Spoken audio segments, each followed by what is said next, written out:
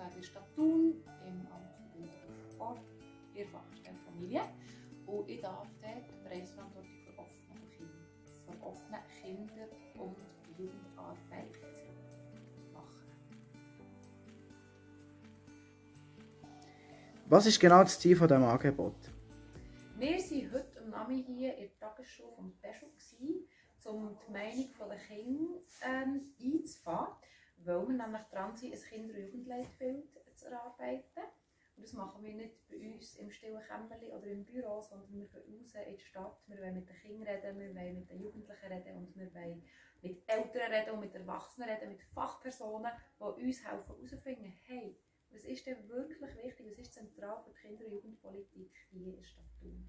Und darum sind wir heute hier bei den Kindern, um ihre Stimme abholen Genau. Findet der Workshop hier zum ersten Mal statt?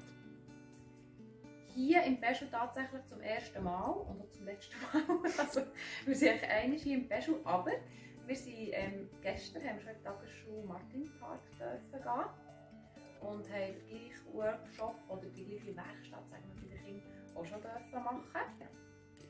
Noch etwas Kleines zu eurer Person. Wie seid ihr dazu gekommen, das Angebot hier zu leiten? Wir haben ähm, eigentlich den Auftrag aus dem Stadtrat, das Kinder- und Jugendleitbild zu erarbeiten. Das ist nicht etwas, also wir freuen uns natürlich sehr, dass wir den Auftrag dürfen, äh, dass wir dem dürfen arbeiten Und unser Anspruch war, dass wir das und Jugendleitbild partizipativ erarbeiten. Und wie es schon erwähnt, nicht einfach uns gute Ideen ähm, ausdenken, die dann vielleicht gar nicht mit dem Bedarf oder mit den Bedürfnissen der Bevölkerung Was macht euch hier am meisten Spass, bei so einem Angebot zu leiten?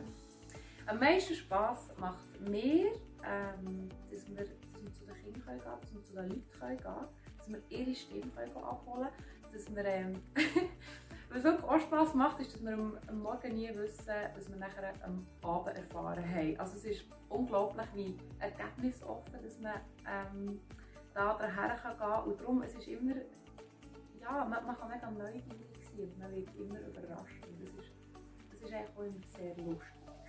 das kann man schon so sagen.